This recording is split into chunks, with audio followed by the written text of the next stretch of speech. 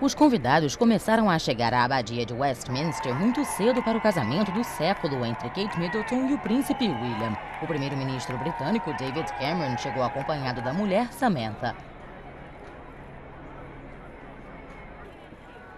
Logo depois veio o vice-premier Nick Clegg ao lado da mulher Miriam.